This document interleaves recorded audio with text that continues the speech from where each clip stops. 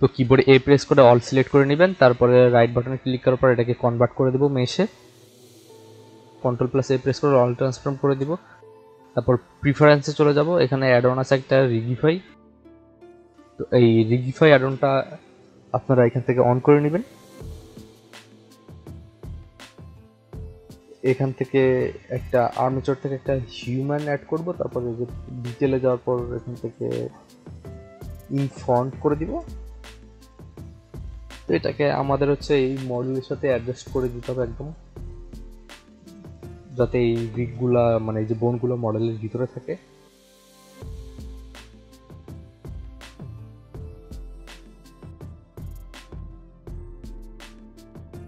আর একটু বড় করে নিতে হবে এক্সপ্রেস করে। এবারে আচ্ছা এবার এডিট মোডে যাব। যাওয়ার পর এই যে ফেস এই ফেসগুলো আমাদের লাগবে না, আমি ফেসগুলো ডিলিট করে দিব।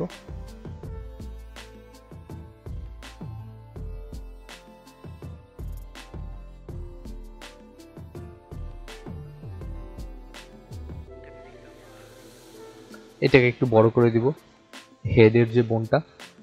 তো এইবার হচ্ছে আমরা এটার যে লেফট সাইডে যে বোনগুলো আছে, এগুলো সবকটা ডিলিট করে দেবো লেফট বোনগুলো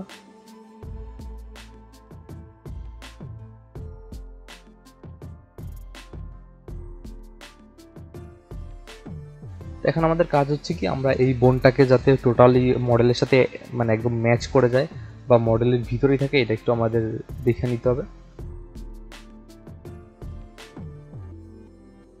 বাকিগুলো ডিফল্টই মোটামুটি ব্যালেন্স হয়ে গেছে, কিন্তু পেইন হবে হচ্ছে এই হাত নিয়ে। তো ওই হ্যান্ডটাকে একটু রোটেট করে নিতে হবে আমাদের।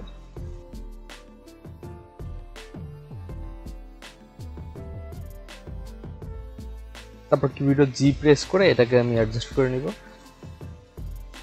আপনারা এই যে প্রতিটা ফিঙ্গার আছে, এই ফিঙ্গারটাকে অ্যাডজাস্ট করে নিতে হবে। এই হাতটাকে একটু ঠিক করে নিই।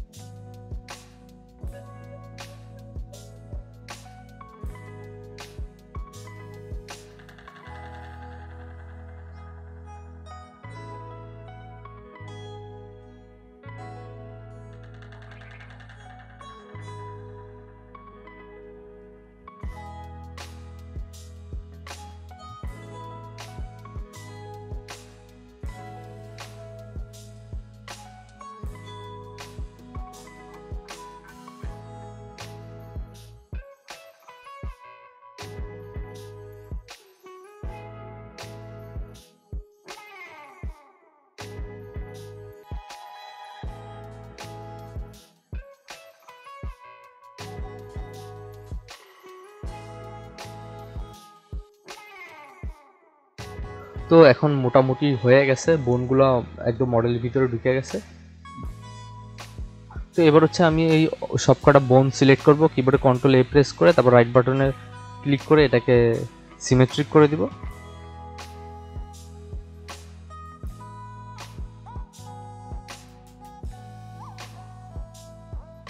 বোনটাকে সিলেক্ট করার পর এটাকে কন্ট্রোল এ প্রেস করে সব অল ট্রান্সফর্ম করে দিব।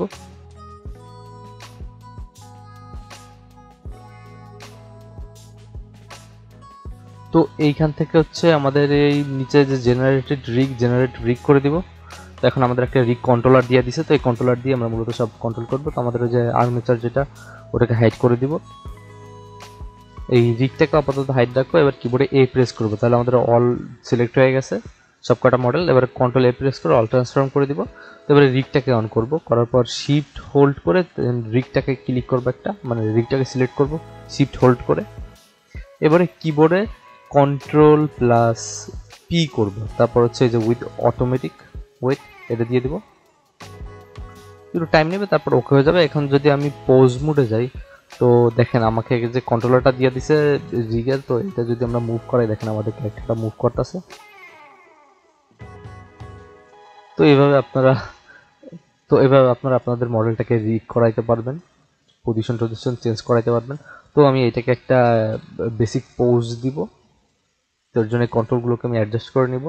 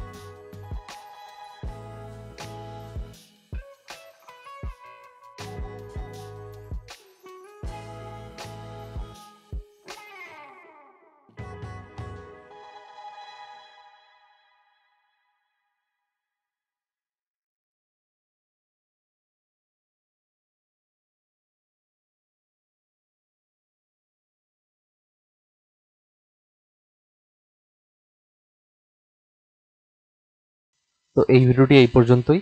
আশা করি ভিডিওটি হেল্পফুল ছিল। যদি নতুন কিছু শিখতে পারেন, অবশ্যই একটা লাইক করবেন আর কমেন্ট করে আমাকে জানাবেন ভিডিওটি কেমন লাগল। আর পরবর্তী ভিডিওর লিঙ্কটা ডিসক্রিপশনে দেওয়া থাকবে, ওখান থেকে চেক করে নিতে পারবেন অথবা আমার প্লে লিস্ট দেখে নেবেন। Thanks for watching